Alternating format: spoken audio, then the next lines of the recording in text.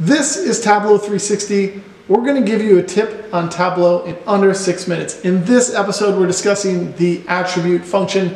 Let's put time on the clock and let's get started.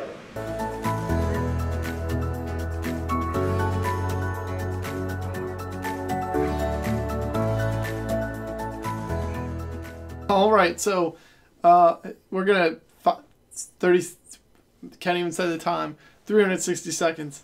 Uh, let's try to get through this as quick as possible. I want to explain the ATTR function, attribute function, but I want to lay out the visualization I already have here. I've got sales by month, and then they uh, they're colored by region, and they break up by year, and that's why I have year on my view here.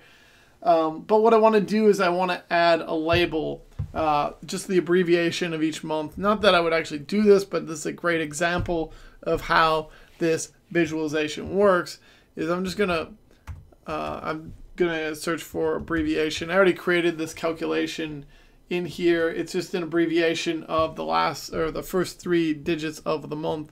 And I can bring this out and label and you'll notice that my lines, which I liked, uh, my they're gone, but I got my abbreviations. So how can I fix this?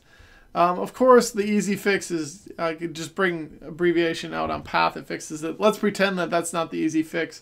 I think some people are going to go, uh, let me use attribute here and select attribute from my dropdown. And when I do that, it fixes it.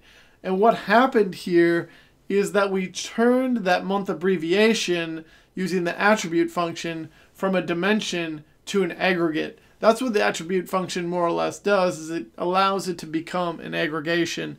And we know this because if we would create a calculated field, and this is a an example I would never use, but if we would just say attribute of um, uh, region here, if that attribute is equal to, um, let's say, south, then sum sales. And you'll notice after I type this out, this calculation is a valid calculation, so it's definitely changing it to an aggregate. And if I remove ATTR, uh, it removes it.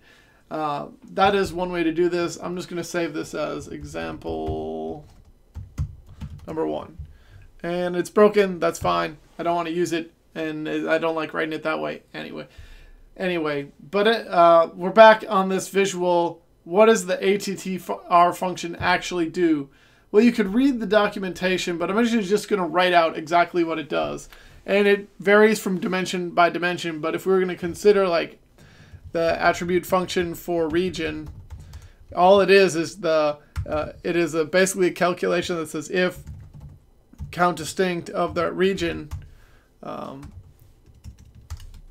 is greater than one, then give me a star. Otherwise, or else, you know what? Give me the region value. And I can type out min here. I just need any type of aggregate to bring, bring it back.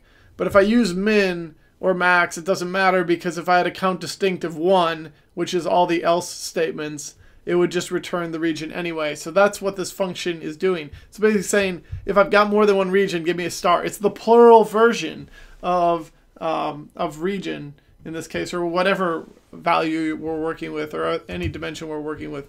So then if I, I'm just going to bring this out on my tooltips here, click and drag region, you'll notice that that matches perfectly with region itself on this view.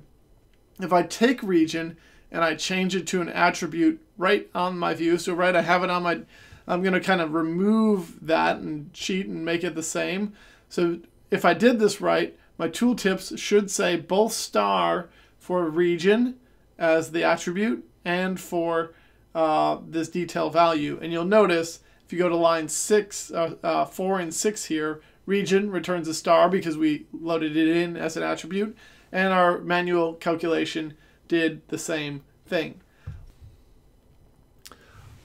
Let's go back and edit that calculation really quick.